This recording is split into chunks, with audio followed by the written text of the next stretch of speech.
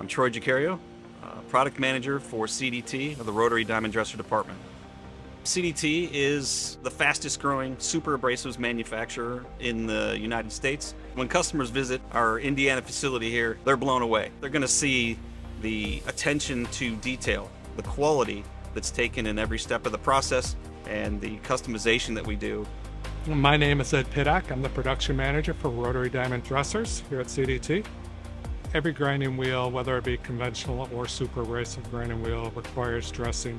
Rotary diamond dressers are used more on the precision side when you're trying to achieve micron type tolerances. Our diamond rolls service automotive, aerospace, cutting tools, and bearing accounts predominantly.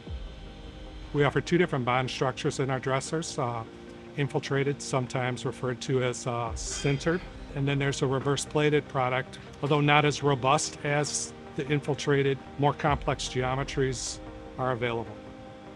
We manufacture uh, two different types of diamond rolls. Traverse diamond rolls, which move across the grinding wheel, and then plunge dress diamond rolls, which just plunge directly into the grinding wheel. They're designed specifically for the customer's process, for the machine, for the part that they're grinding, um, and for the surface finish requirements and the geometry that they're looking for.